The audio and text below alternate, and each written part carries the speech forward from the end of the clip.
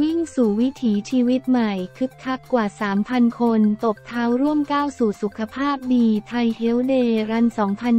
2023 คึกคัก นักวิ่งกว่า 3,000 คนตบเท้าเข้าร่วมวิ่งสู่วิถีชีวิตใหม่ สสส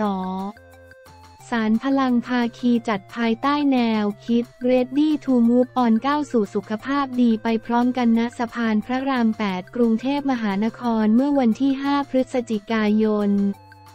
2566 ที่บริเวณใต้สะพานพระราม 8 และสวนหลวงพระราม 8 กรุงเทพมหานคร นายแพทย์สุรเชษฐสถิตนิรามัย รองประธานกรรมการกองทุนสนับสนุนการสร้างเสริมสุขภาพ สสส คนที่สองกล่าวว่า สสส สารพลังสมาพันธ์ชมรมเดินวิ่งเพื่อสุขภาพไทย และสมาคมการค้าผู้จัดงานกีฬามวลชนไทย TMTSA และภาคีเครือข่ายจัดกิจกรรมเดินวิ่งไทยเฮลเดย์รัน 2023 วิ่งสู่วิถีชีวิตใหม่ครั้งที่ 11 ภายใต้แนวคิด Ready to Move on ก้าวสู่การมีสุขภาพดีไปพร้อมกัน เน้นมาตรฐานความปลอดภัยทางการแพทย์ พร้อมพัฒนานวัตกรรมส่งเสริมให้นักวิ่งมีความรู้ ความเข้าใจเกี่ยวกับการเตรียมความพร้อมของร่างกายก่อนวิ่งนำไปสู่การยกระดับการจัดงานวิ่งที่ได้มาตรฐานความปลอดภัย มุ่งเป้าสร้างสังคมกระฉับกระเฉง ส่งเสริมให้เกิดนักวิ่งหน้าใหม่เพิ่มขึ้น ดร สุปรีดา อดุลยานนท์ผู้จัดการกองทุนสสส กล่าวว่ากิจกรรมเดินวิ่งไทยเฮลเดย์รันเน้นสร้างความรู้ความเข้าใจให้ตระหนักถึงความสำคัญของการสร้างมาตรฐานด้านความปลอดภัยในงานกีฬามวลชนประเภทงานวิ่ง ที่ได้มาตรฐาน safe fair fun นักวิ่งสามารถเข้าร่วมงานวิ่งได้อย่างมั่นใจ สสสมุ่งฟื้นฟูกิจกรรมทางกายทุกช่วงวัย สานพลังภาคีพัฒนานวัตกรรมแอปพลิเคชันวิ่ง training ช่วยเตรียมสุขภาพร่างกายนักวิ่งให้พร้อม ผ่านตารางฝึกซ้อมที่เหมาะสมกับแต่ละบุคคล พร้อมส่งเสริมการใช้ พื้นที่สุขภาวะละแวกบ้าน เพิ่มการมีกิจกรรมทางกายในชีวิตประจำวันไทยเฮลเดย์รันเป็นสนามต้นแบบการจัดงานวิ่งที่ปลอดภัยและได้มาตรฐานสากล ตามแนวทางการขับเคลื่อนความปลอดภัยในงานกีฬามวลชน Mass Sport Safety Ecosystem Forum มีการออกแบบหน่วยแพทย์รถพยาบาลรวมถึงจุดพยาบาลตลอดเส้นทางถึง 22 จุดมุ่งป้ายกระดับเป็นหนึ่งในสนามต้นแบบด้านความปลอดภัยและการแพทย์ให้แก่วงการงานวิ่งในอนาคต เพื่อป้องกันเหตุอันไม่พึงประสงค์ต่อตัวนักวิ่ง ทั้งนี้มีนักวิ่งเข้าร่วมกิจกรรมกว่า 3,000 คน ทั้งนี้ติดตามข้อมูลเพิ่มเติมได้ทาง Facebook แฟนเพจไทยเฮลเดรัน ดร สุปรีดากล่าว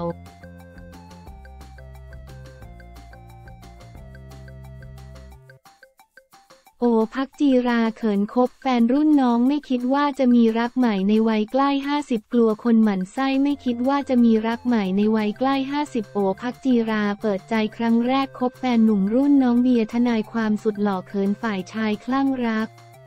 ให้เกียรติรู้สึกดีถูกยกเป็นไอดอลมีแฟนเด็ก หัวใจกระทุ่มกระชวยสดใสอีกครั้งกับความรักครั้งใหม่ของโอพักจีราวรรณสุดที่เปิดใจครั้งแรกในรายการครอบครัวบันเทิงออนไลน์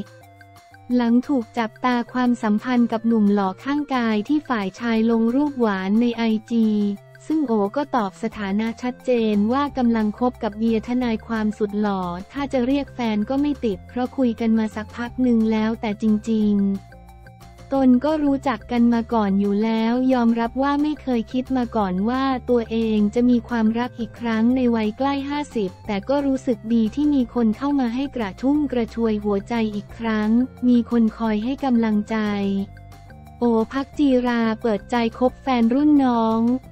ส่วนฝ่ายชายโชว์ความคลั่งรักด้วยการโพสต์รูปคู่เปิดตัวกับโอแบบถี่ยิบ โอตอบด้วยอาการเขินไม่คิดเหมือนกันว่าเขาจะคลั่งรักขนาดนั้น ส่วนคลิปที่เขาลงก็ลง เพราะความคิดถึงที่ไม่ได้เจอกันนาน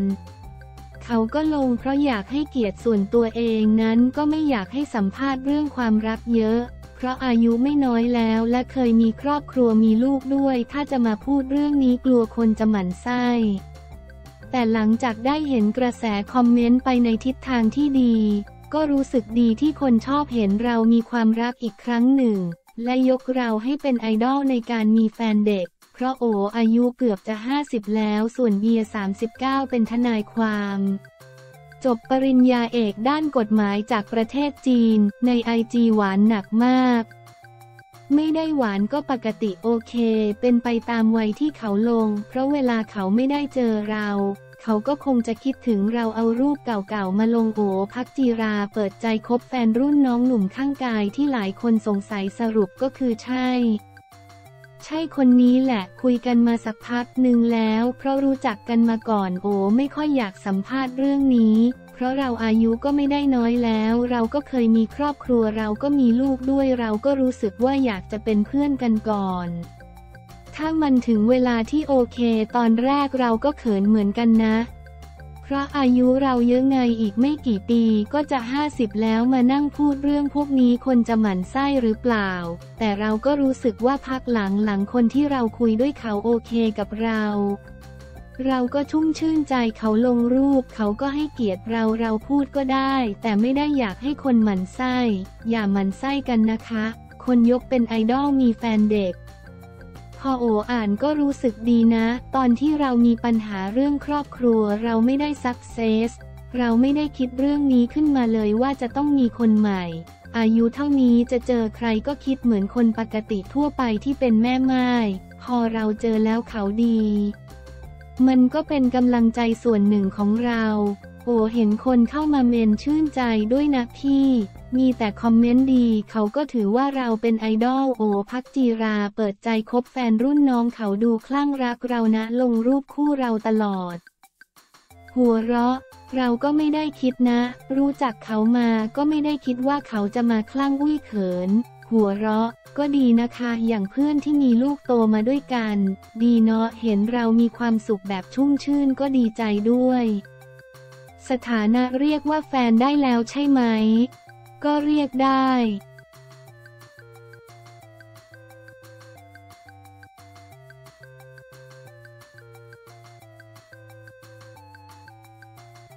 บัวขาวสดกว่าบทชนะคะแนนแสนชัยคู่เอกศึก BKFC ที่พัทยาบัวขาวบัญชาเมฆอาศัยความสดเดินหน้าชกแสนชัย PK แสนชัยมวยไทยยิมก่อนครบ 5 ยกกรรมการชูมือให้บัวขาวเป็นฝ่ายชนะคะแนนศึก BKFC การแข่งขันมวย ในรายการ BKFC นัดพิเศษ Legend of สยาม เมื่อวันที่ 4 พฤศจิกายน 66 ที่เวทีมวยชั่วคราวรอยัลคลิฟโฮเทลส์กรุ๊ปพัทยาจังหวัดชลบุรี คู่เอกของรายการเป็นการโคจรมาพบกันของสองยอดมวยไทยแห่งยุค บัวขาวบัญชาเมฆ ขึ้นสังเวียนพบกับแสนชัยทีเค แสนชัยมวยไทยยิมผลการแข่งขันปรากฏว่าตลอดการชก 5 ยกบัวขาวเป็นฝ่ายเดินหน้าออกอาวุธขณะที่แสนชัยอาศัยดักจังหวะ 2 ได้ดี ครบ 5 ยกกรรมการยกมือให้บัวขาวชนะคะแนนไปแบบสนุก